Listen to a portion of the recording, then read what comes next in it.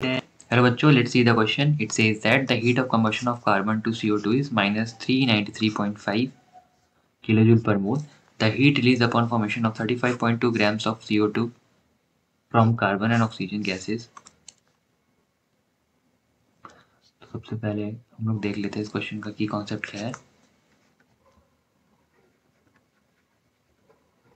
Key concept is heat of enthalpy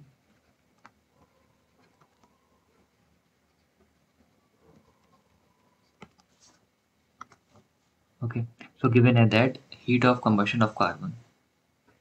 to CO2 which means C plus O2 CO2 and delta H of this reaction is minus 393.5 kilojoule per mole. Okay.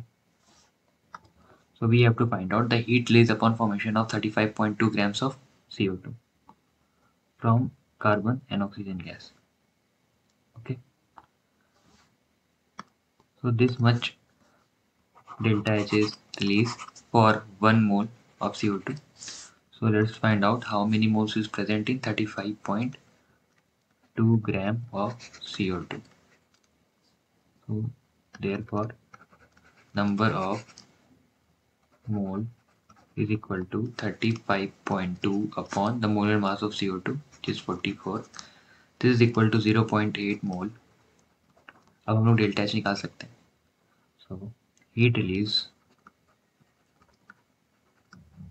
for 0.8 mole is equal to 0.8 times minus